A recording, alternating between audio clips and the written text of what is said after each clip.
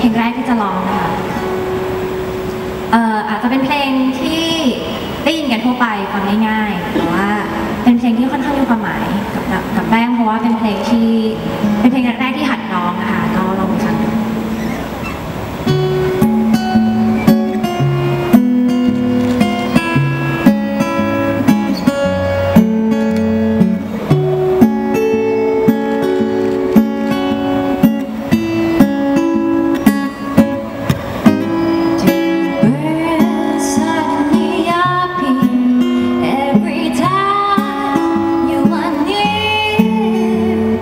Just like